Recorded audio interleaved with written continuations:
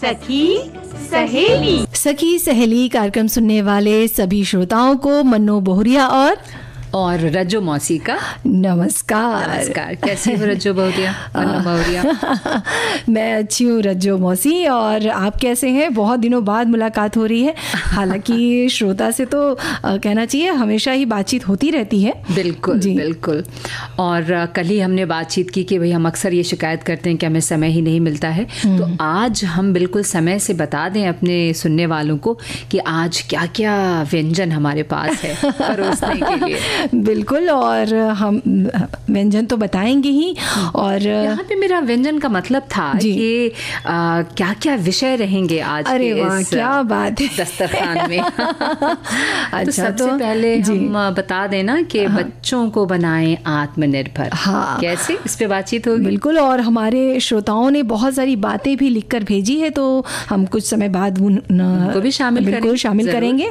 और ख़ास बात अ, सौर ऊर्जा के फ़ायदे। हम्म। क्योंकि हाल ही में बहुत सी चीज़ें ऐसी हुई हैं जो सोलर एनर्जी से जुड़ी जो कहना चाहिए एक सिटी बनी है। और भी बातें हैं करेंगे आगे। और व्यंजन हाँ। जैसे आपने बोला तो व्यंजन ये वो वाला व्यंजन है जिसमें खाना बताया देखो ना मनु बहुरिया हम। कई बार कहते हैं ना कि आज खाने में क्या क्या आइटम है। हाँ। तो हमारे प्रोग्राम के जो आइटम्स थे हमने बता दिया अपने सुनने वालों को।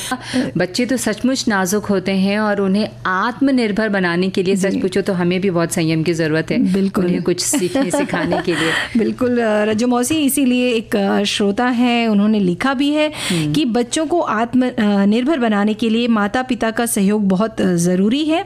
उनका आत्मनिर्भर होना उनके जीवन के लिए और आपके लिए दोनों के लिए ही एक अच्छा उद्देश्य है। बच्चे जब आत्मनिर्भर होते हैं तो उनके सामने उनके जीवन में आगे बढ़ने के लिए कई रास्ते होते हैं जिसका चयन वो अपनी सूझबूझ से करते हैं और ऐसे ही कई काम होते हैं जो उन्हें अकेले ही कर, आ, करना होता है तब उनके मन में किसी भी प्रकार का डर नहीं होता और माता पिता भी आ, कहना चाहिए कि कुछ बेफिक्र हो जाते, हो जाते हैं, जी। बिल्कुल और एक और श्रोता ने लिखा है कि बच्चों को आत्मनिर्भर बनाने के लिए उनके कुछ काम उन्हें खुद ही करने दें। बिल्कुल सही लिखा है आपने लेकिन आप उनके काम पर नज़र ज़रूर रखें जैसे स्कूल का होमवर्क घर में अपने जूते चप्पल को सही स्थान पर रखना।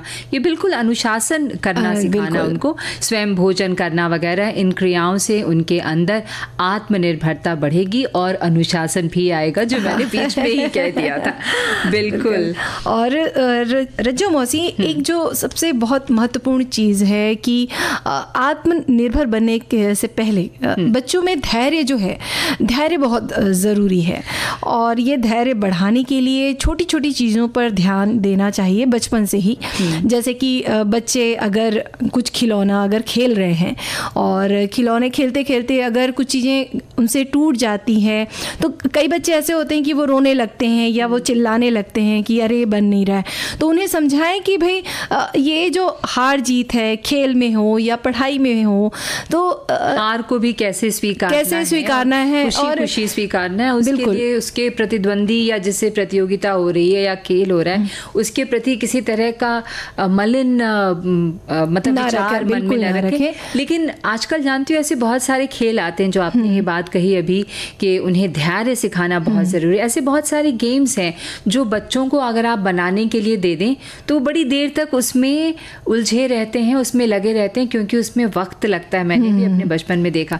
मुझे लगता है कि उस तरह के भी खिलौने देने से ना उनका ध्यान एक जगह केंद्रित होगा। और शायद जब ध्यान केंद्रित करने की आदत अगर लग जाए तो फिर मुझे लगता है धैर्य साथ ही साथ बढ़ने लगेगा ऐसा। बिल्कुल, तुमने देखे होंगे ना वैसे जी हाँ जी हाँ आजकल तो बाज़ार में बहुत कहना चाहिए कि मानसिक विकास के लिए बच्चों के बहुत अच्छे अच्छे खिलौने भी आते हैं। और वहीं एक श्रोता है उन्होंने लिखा है कि बच्चा हो या कोई बड़ा व्यक्ति शारीरिक या मानसिक रूप से दूसरों पर ज़रूरत से ज़्यादा निर्भरता एक स्वस्थ व्यक्ति को भी विकलांग बना सकती है। ऐसे में ज़रूरत है माता पिता अपने बच्चों को उनके बचपन में ही आत्मनिर्भरता के गुण सिखाएँ। माता पिता की नज़रों में उनका बच्चा हमेशा छोटा रहता है। वे किसी छोटे बच्चे की तरह उसकी हर ज़रूरतें पूरी करते हैं। उनका काम भी खुद भी ही कर देते हैं। लेकिन यही आदत आगे चलकर उनके लिए परेशानी खड़ी कर सकती है। क्योंकि जब वो घर से बाहर निकलेगा तब उसे ये सारे काम खुद ही करने पड़ेंगे। इसलिए बच्चों की को शुरुआत से ही आत्मनिर्भर बनाना शुरू कर देना चाहिए। हाँ एक और श्रोता ने भेजा है बहुरिया लिखकर ये कि बच्चों को जब वो थोड़ा समझने वाला हो जाए उससे छोटे छोटे काम जैसे खिलौने खेलने के बाद उसे जगह पर रखाए। स्कूल जाने वाले बच्चों को अपना स्कूल बैग उस दिन के टाइम टेबल के अनुसार सेट करके पेन पेंसिल रबर वगैरह चेक करें और अपने जूते ड्रेस एक साथ एक जगह पर रखें रात में ही तैयार करके रखें। ये कोई माँ ही लिख सकती है है ना? इससे आपको भी सुबह सुबह चीज़ें ढूंढनी नहीं पड़ेंगी और सिर्फ़ टिफ़िन ही बनाना पड़ेगा। स्कूल से लौटकर आने पर भी अपने जूते कपड़े बैग वगैरह जगह पर ही रखें।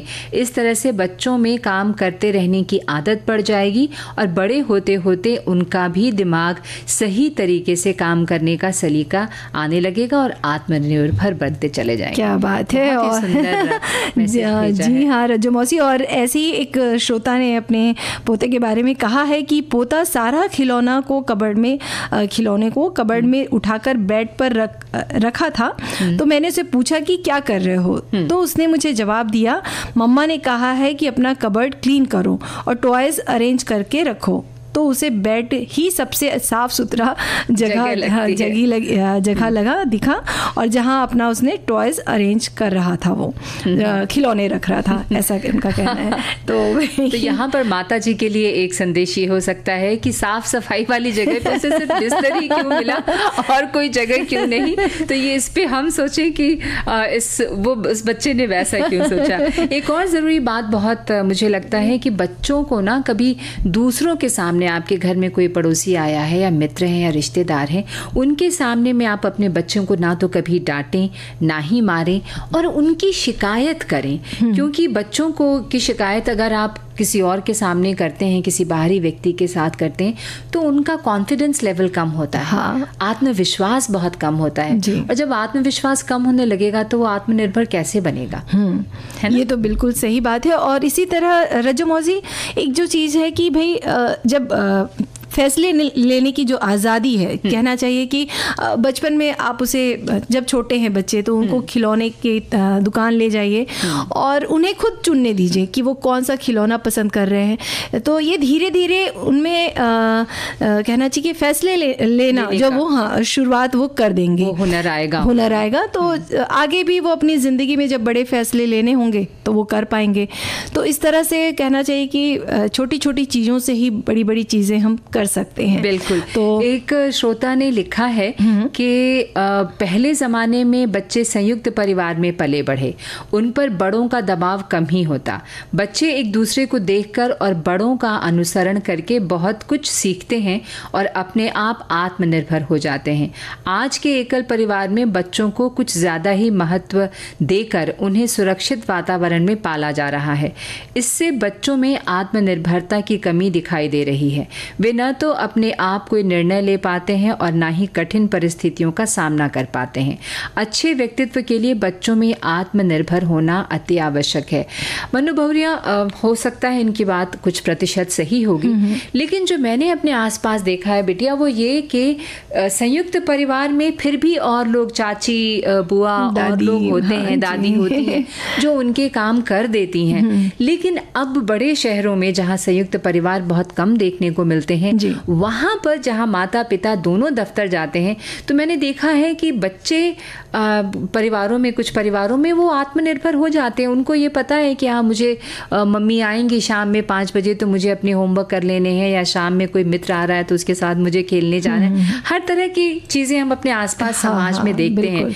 लेकिन वहाँ उन्हें कोई तीसरा व्यक्ति करने वाला नहीं है उनका काम। और जो कामकाजी महिलाएँ हैं उनको भी बच्चों को अनुशासित करना उनकी मजबूरी भी है और ज़रूरत भी है समय की मांग है ये। क्योंकि कल वो बच्चा बड़ा होकर फिर बाहर निकलेगा या निकलेगी काम पे। तो उसको पता है कि मुझे बचपन से ये आदत दी गई है। तो वो आत्मनिर्भर होगा और अपने आसपास भी लोगों को यही शिक्षा देगा या समझाएगा या समझाएगी है ना? संयुक्त परिवारों में बड़ा मुश्किल होता है कि बच्चों को कहना अगर बुआ ने डांटा है तो दादी ने प्यार कर लिया माँ ने डांटा है तो दादाजी ने प्यार करके कह दिया। बहुत से लोग होते बच्चा हैं। है। कहके ये कर देते हैं। ऐसा। बिल्कुल वो तो है ही और एक जो हाँ, ये तो साथ आप बिल्कुल सही कह रहे हैं रजो मौसी और बच्चों को ना कभी भी शॉर्टकट तरीके से काम करना ना सिखाए। मतलब जैसे काम की बात हो ही रही है कि अरे नहीं ऐसे नहीं ऐसे कर लो हो जाएगा। तो थोड़ा शॉर्टकट से बचे उन्हें थोड़ा परिश्रम ज़रूर लगेगा हमको भी लगे क्योंकि माता पिता होते हैं तो कोई भी माता पिता अपने बच्चों को तकलीफ़ में नहीं देख नहीं सकते देख सकते। तो उन्हें लगता है अरे ये क्यों परिश्रम इतना करे क्यों हार्ड वर्क करे? तो कई बार माताएँ बोल देती नहीं बेटा तुम इसको ऐसा ऐसा कर दो। तो वो जो शॉर्टकट हम जब बोलते हैं उस हाँ। समय तो हम ये नहीं सोचते कि वो उसकी प्रभाव हाँ पड़ेगा। प्रभाव पड़ेगा। लेकिन आगे चल के ये चीज़ें कहीं ना कहीं परेशानी बन सकती हैं। बिल्कुल बिल्कुल। ये है और एक श्रोता है उन्होंने ये भी लिखा है कि आत्मनिर्भर ये सभी बातें हमारे ज़माने की है जब हम परिवार में बहुत भाई बहन हुआ करते थे। हर एक की जिम्मे में एक काम हुआ हुआ करता था। किसे बिछावन ठीक करना है, किसे किताबों की अलमारियाँ ठीक करनी है, किस जूते चप्पल किसे मतलब जूते चप्पल का रेक साफ़ करना है। हमें तो बचपन में ये सख्त हिदायत दी थी कि अपना खाया हुआ बर्तन उठाकर जहाँ बर्तन धोने का जगह हो वहाँ रखना है। अगर घर में दाई नहीं आ रही है तो अपना खाया हुआ बर्तन धोना भी था और हम सभी भाई बहन को ये काम करना पड़ता था। आजकल तो छोटा परिवार है एक या दो बच्चे माँ बाप दोनों कामकाजी हैं तो बच्चे स्वतः स्वावलंबी बन जाते हैं। माइक्रोवेव में अपना खाना गर्म कर लेते हैं अपना होमवर्क कर लेते हैं और अपने स्टडी टेबल भी ठीक कर लेते हैं। अगर मम्मा खाना नहीं बना पाई तो कोई बात नहीं खाना बाहर से ऑर्डर हो जाएगा। डिजिटल युग के बच्चे।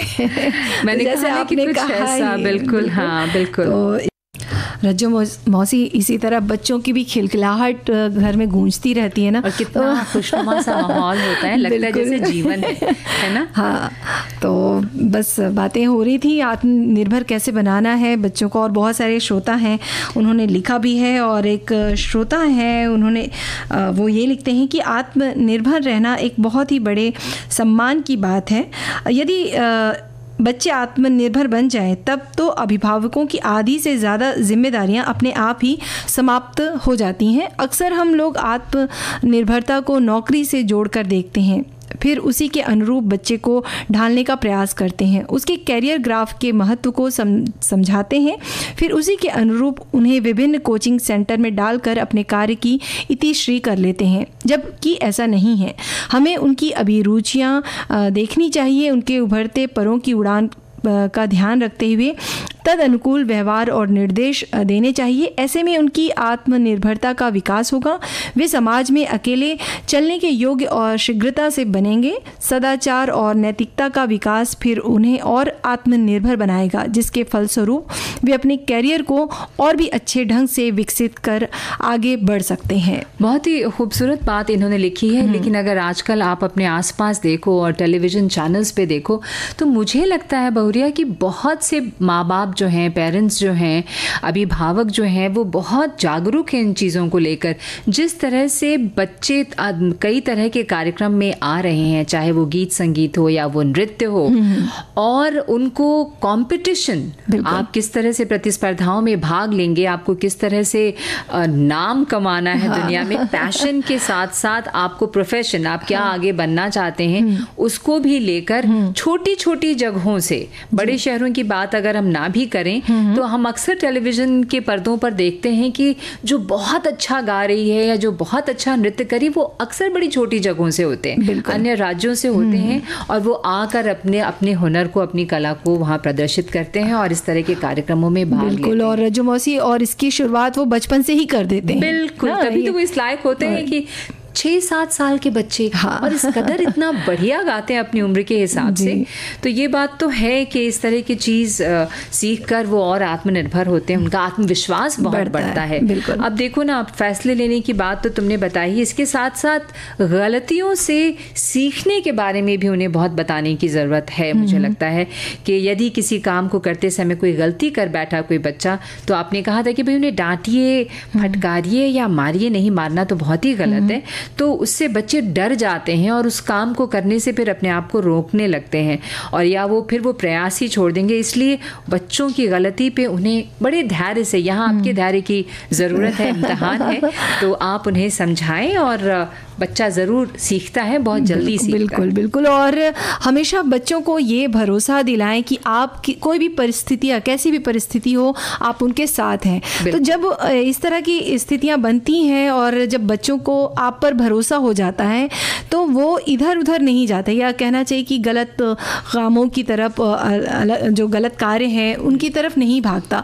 और कभी उसको परेशानी होती है तो वो आपसे वो बातें शेयर करता है।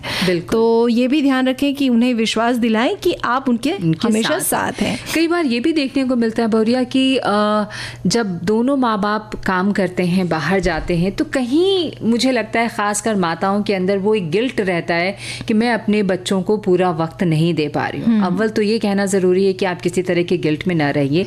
और उसको उसका कॉम्पनसेशन जिसे कहते हैं उसके लिए वो बच्चों के लिए बहुत सारे पैसे खर्च करते हैं और गिफ्ट्स लाते हैं। तो यहाँ बच्चों को ये भी आप एक ऐसा ऐसी फीलिंग न दें कि माँ बाप के पास बहुत पैसे हैं और वो हमारे लिए इतने तरह तरह के उपहार लेकर हमेशा आते रहते हैं।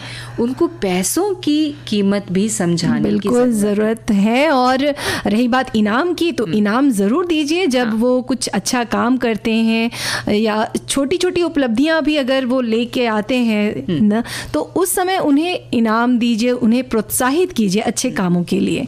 तो ये है ज़रूरी है हर जिद को पूरी करना भी ज़रूरी नहीं है है ना? बिल्कुल और इस तरह से तो बच्चे जिद्दी बन जाएँगे जिद्दी बन? जाएँगे बिल्कुल। जी उन्हें लगेगा कि वो जो चाहते हैं वो हो जाना बहुत ज़रूरी है। हाँ। और- हाँ हमारे एक श्रोता ने इसी तरह एक बात लिखी है कि आज के विषयों में बच्चों को आत्मनिर्भर बनाने की बातें होने वाली है बढ़िया विषय है। बच्चे मन के सच्चे होते हैं और ये बात भी सच है कि एक गुजराती मुहावरा है पुत्र ना लक्षण पारणा माँ। मतलब पुत्र हो या पुत्री उसके लक्षण पालने में उनके माता पिता को पता चल जाता है कि बड़ा होकर तरक्की ज़रूर करेगा। इसके लिए इसलिए उन बच्चों को योग्य शिक्षा देकर आत्मनिर्भर बनाने के साथ आत्मविश्वास बढ़ाने के लिए उनके माता पिता का अहम रोल होता है। बिल्कुल सही तो कहा सही उनका पहला स्कूल परिवार ही होता है। एक और संदेश है बच्चों के उज्जवल भविष्य के लिए उसे शुरू से आत्मनिर्भरता का गुण सिखाना बहुत ज़रूरी है। इससे बच्चा अपने काम स्वयं कर पाएगा साथ ही वो अपने विचार स्कूल या घर में सही से व्यक्त कर पाएगा। आत्मनिर्भरता बच्चों में अपने फैसले खुद लेने के गुण को विकसित करती है।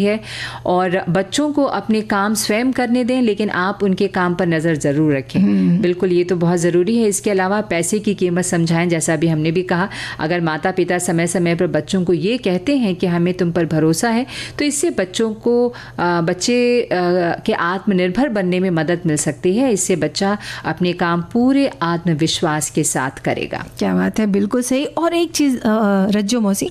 कि हर काम के लिए बच्चों को टोका टाकी ना करें। मतलब बेवजह उन्हें ना टोके कि अरे ये मत करो ये करोगे तो गिर जाओगे ये ये मत करो ये गलत बात है। उन्हें खुद भी समझने दीजिए कि क्या खासकर बचपन में अगर हम बात करें जब छोटे बच्चे होते हैं तीन चार साल के तो हर बात में भी बेवजह हस्तक्षेप करने की ज़रूरत नहीं है। तो इससे भी कहीं ना कहीं उनका आत्मविश्वास कहना चाहिए या कहीं ना कहीं उनके मन में डर रहता है और वो कोई भी काम पहल करने से डरते हैं।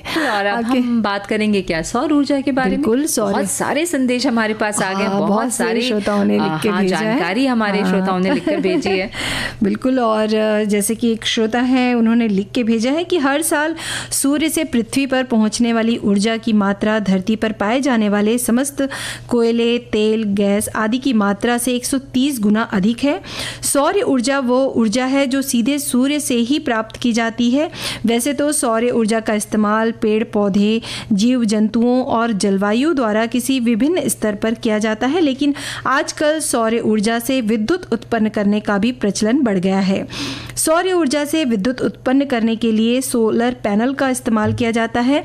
विज्ञान एवं तकनीक में होने वाले विकास की मदद से मनुष्य ने ऐसी तकनीक इजाद कर ली है जिससे धरती पर पड़ने वाली सूरज की किरणों को विज्ञान एवं तकनीक की मदद से विद्युत में परिवर्तित किया जाता है। बिल्कुल ये सोलर पैनल्स तुमने भी देखा होगा बिटिया कई जगहों पे जी। आ, देखने को मिलता है। कुछ लोगों ने अपने घरों के छतों पे लगा रखे हाँ, हैं। हाँ। होटलों में देखने को मिलता है ऐसे। आ, एक और आ, संदेश है बहुरिया, ये मैं पढ़ दूँ। सौर ऊर्जा एक प्राकृतिक ऊर्जा का विशाल भंडार है।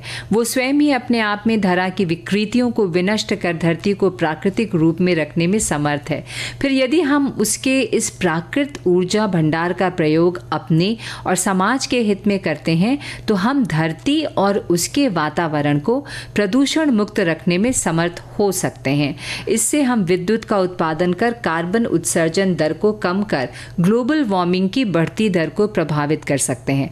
फलतः स्वयं बचते हुए अपनी धरती को भी सुरक्षित रख सकते हैं बिगड़े हुए मौसम चक्र में सुधार ला सकते हैं और इस तरह सौर ऊर्जा हमारे जीवन में बहुत महत्वपूर्ण है। क्या बात है? और सौर ऊर्जा की जैसे बात हो ही रही है तो आ, ये तो है ही कि जो सूर्य की किरणों से प्राप्त होती है वो ऊर्जा को सौर ऊर्जा कहते हैं।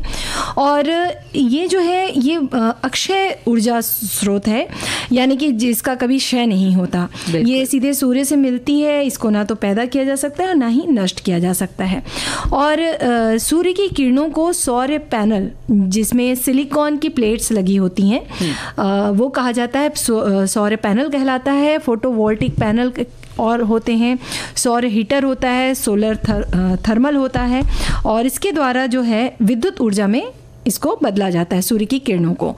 और सोलर टेक्नोलॉजी की अगर हम बात करें तो इसके द्वारा इस ऊर्जा का जो है विभिन्न तरीक़ों से इस्तेमाल किया जाता है।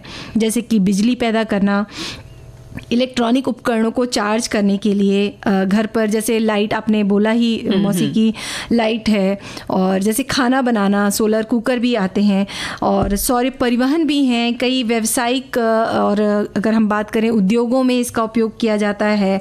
तो इस तरह से गर्म करने के लिए भी है ना? तो इस तरह बहुत तरह से क्षेत्र है। बिल्कुल। हमारे जीवन में बहुत एक और मैसेज है सौर ऊर्जा का तो सबसे बड़ा फ़ायदा यही है एक श्रोता ने लिख के भेजा है हम्म। कि बिजली बचेगी खाना पौष्टिक बनेगा। अभी तुमने बताया कि हम खाना भी बना सकते हैं और वायु प्रदूषण से भी बचे रहेंगे। इन्होंने हम्म। लिख के भेजा है कि दीव की भौगोलिक स्थितियों के अलावा स्थानीय प्रयासों के कारण देश का पहला ऐसा शहर फ़र्स्ट सिटी ऑफ़ इंडिया है जो दिन में सौ प्रतिशत सौर ऊर्जा से चल रहा है, जिसमें बाहरी ऊर्जा की खपत नहीं, परिचालन लागत का कम होना आसान और विश्वसनीय है ये।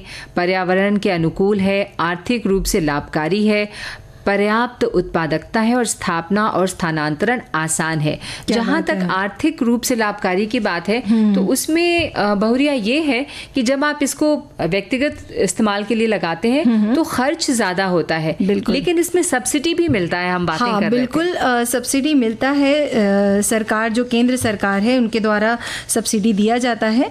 और अब अगर आप घर पर अगर पैनल लगवा रहे हैं या व्यवसाय में अगर आप इसको यूज़ कर रहे हैं और इसी तरह किसानों के लिए भी कुसुम योजना की शुरुआत की गई है, जिसके तहत इस तरह के जो सोलर सिस्टम आप लगवाना चाहते हैं खेतों में हम्म। तो आप लगवा सकते हैं तो कहीं ना कहीं ये है कि कुछ कमियाँ हैं तो बहुत से फ़ायदे भी हैं है। तुमने फोटोवोल्टिक सोलर एनर्जी की भी बात की थी क्योंकि बहुत तरह के सोलर एनर्जी की हम बात कर रहे थे जी इस ऊर्जा की बात कर रहे थे तो पाँच तरह के होते हैं हम्म। और उसमें एक है फोटोवोल्टिक सोलर एनर्जी ये सोलर पावर का सबसे सामान्य रूप है हम्म। कहते हैं और इसे सोलर सेल सिस्टम के नाम से भी जानते हैं और ये सी सीधे सूर्य के किरण से इलेक्ट्रिसिटी प्रोड्यूस करता है और इसका उपयोग जो है वो सोलर पैनल के माध्यम से बिजली उत्पादन में किया जाता है। बिल्कुल, और इसी तरह सोलर वाटर हीटिंग सिस्टम होता है और ये जो है,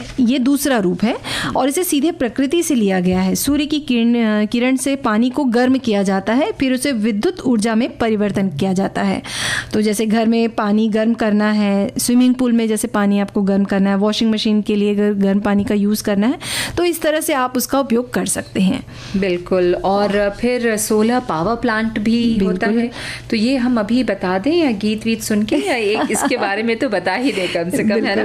भाई सोलर पावर प्लांट की हम बात कर रहे हैं। ये सोलर एनर्जी का तीसरा प्रकार है जिसका उपयोग अधिकतर बड़े इंडस्ट्रीज़ में होता है जहाँ सूर्य की किरण से सीधे सोलर इलेक्ट्रिसिटी बनता है।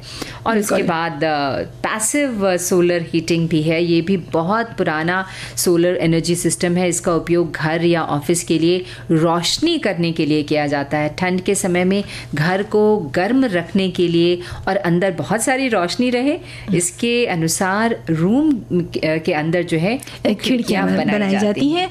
और मौसी जी वैसे ही एक सोलर कूलिंग सिस्टम होता है। इसका उपयोग जो है सूर्य की किरण से ठंडा करने के लिए किया जाता है। जैसे कि रेफ्रिजरेटर है एयर कंडीशनर जैसे हो गया। तो इसके लिए थर्मल शीतलन प्रणाली की तरह ये काम करता है जो तापमान को कम करके ठंडा रखता है तो इस तरह के बहुत सारे प्रकार हैं सोलर ऊर्जा के और और बहुरिया एक संदेश है हाँ, हाँ। उसको उसमें उन्होंने लिख के भेजा है कि सौर ऊर्जा स्वच्छ है। ये कोई कार्बन उत्सर्जन या अन्य गर्मी रोकने वाली ग्रीन हाउस गैसें नहीं बनाता है। और ये जीवाश्म ईंधन के लिए खनन या ड्रिलिंग से जुड़ी पर्यावरणीय क्षति से बचाता है। और इसके अलावा भाप टर्बाइन का उपयोग करके बिजली उत्पन्न करने वाले बिजली संयंत्रों के विपरीत सौर ऊर्जा भी बहुत कम या बिल्कुल पानी का उपयोग नहीं करती है। क्या बात है।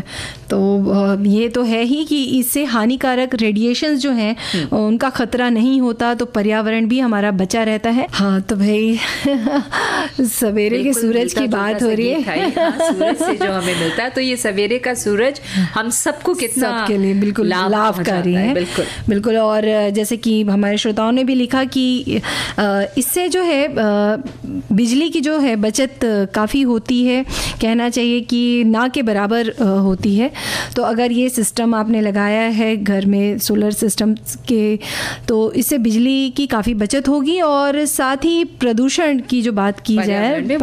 बिल्कुल बचाया जा सकता है और सोलर एनर्जी का जो उपयोग हम अगर बताएँ तो घर के सारे जो इलेक्ट्रॉनिक उपकरण होते हैं उनकी बैटरी को चार्ज कर चार्ज कर सकते सकता हैं है। और उनकी मदद से घर में जो है बिजली का उत्पादन तो कर ही सकते हैं। और इलेक्ट्रिक गाड़ियाँ जो कहना चाहिए कि आजकल बहुत सी इलेक्ट्रिक गाड़ियाँ हैं जो इसके सोलर एनर्जी के का उपयोग करके ही चल रही हैं।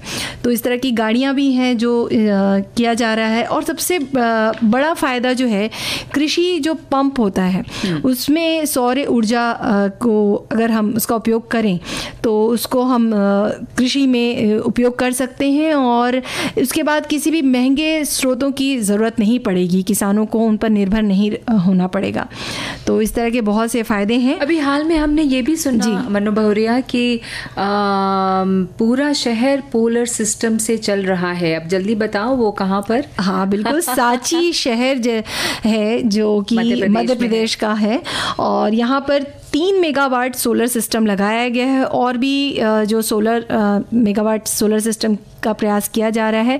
वहाँ पर स्ट्रीट लाइट यहाँ तक कि सारे जो सिस्टम हो रहे हैं वो सोलर सिस्टम के थ्रू ही किया जा रहा है और ये कोशिश की जा रही है और कहना चाहिए कि देश का पहला अ, सोलर सिटी अ, बन गया है। जैसे कि हमारे एक श्रोता ने लिखा भी था दीव जो है वो है लेकिन वो भौगोलिक स्थितियों के कारण था।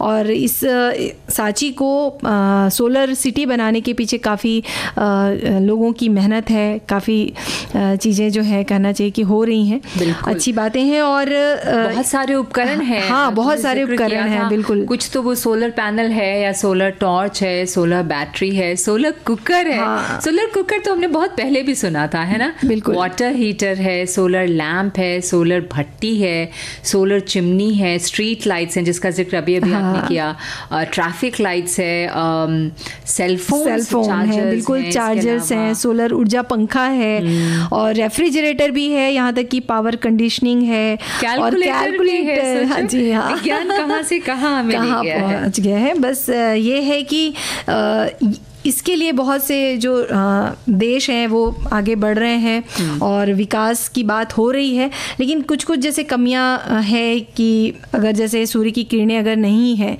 और बरसात का समय है या फिर धूप नहीं है और ठंड का समय है तो और रात्रि के समय जब सूर्य की किरणें नहीं होंगी उस समय ये जो सिस्टम है वो उतना काम काम, नहीं नहीं करेगा। तो इसके लिए भी प्रयास जारी है और बहुत से देश में इस तरह के प्रयास किए जा रहे हैं क्योंकि ये बहुत ही लाभकारी होगा। बिल्कुल बिल्कुल। और मौसी जी व्यंजन से जुड़ी हुई बातें भी हमारे श्रोताओं ने लिखी हैं और बहुत टेस्टी कुछ लिखा है जिसमें मुँह मीठा हो जाता है लिखा है इन्होंने रसभरी। रसभरी सुनकर ही मुँह मीठा हो जाता है। तो फिर बना लेते हैं ऐसा लिखा है उन्होंने। सामग्री लिखी है एक कप मैदा एक टेबल स्पून दही एक टीस्पून बेसन एक टीस्पून गरम घी या तेल चुटकी भर मीठा सोडा केसर या खाने वाला पीला रंग दो कप शक्कर एक कप पानी इलायची पाउडर। अब बनाना कैसे है? ये बनाना है कि एक कढ़ाई में शक्कर पानी डालकर एक तार की चाशनी बना रखें। मैदा में दही बेसन सोडा जो खाने वाला सोडा है घी एक टीस्पून डाल दें गरम डालकर पानी डालें। अच्छा पानी को गर्म कर लेना है और खूब फेंट लें। बैटर पतला नहीं करना है आसानी से गिर जाए बस वैसे ही। पंद्रह बीस मिनट तक फिर फेंट लें। अब कढ़ाई में या फ्राई पैन में तेल या घी गर्म करें। जब अच्छा गर्म हो तब आसानी से भजिए जैसा कुरकुरे बनाकर चाशनी में डालें। ध्यान रखें चाशनी ज़्यादा गर्म नहीं हो। चाशनी में केसर और इलायची पाउडर डालें। गर्मा गर्म रस भरी खाएँ और खिलाएँ। और इन्होंने आगे ये भी लिखा है कि इस बैटर से जलेबी भी बना सकते हैं। हम्म क्या बात है तो, तो घर के करके देखोगी ना। बिल्कुल कोशिश करेंगे। भाई अब समय कम है जल्दी से कोदो का खीर तो बता दो। बिल्कुल बिल्कुल रज्जो मौसी तो कोदो कोदो तो सबको पता ही होगा कि कोदो जो है वो चावल का छोटा रूप होता है तो वो कोदो ले लें और शक्कर और दूध ले लें। कोदो के खीर में जो बहुत महत्वपूर्ण है वो है कि अ, कोदो को जो है वो धो लें और पानी में उबाल लें उसे। पानी में उबालेंगे और वो पक जाए। उसके बाद उसमें दूध डाल के उसे उबालें और उसमें शक्कर आप चाहें तो गुड़ भी डाल सकते हैं। गुड़ डाल दीजिए इलायची पाउडर डालना इलायची पाउडर डाल दीजिए और ड्राई फ्रूट्स डाल दीजिए। तो ये बहुत ही पौष्टिक रहता है जाएगा बिल्कुल खाइए। और अब हम लोग भी चल लें इजाज़त लें अपने श्रोताओं हाँ से। बिल्कुल एक ब्रेक तो ले रज्जो लेते मौसी का। हाँ रज्जो मौसी और मनो मन्नो बहुरिया का नमस्कार। नमस्कार।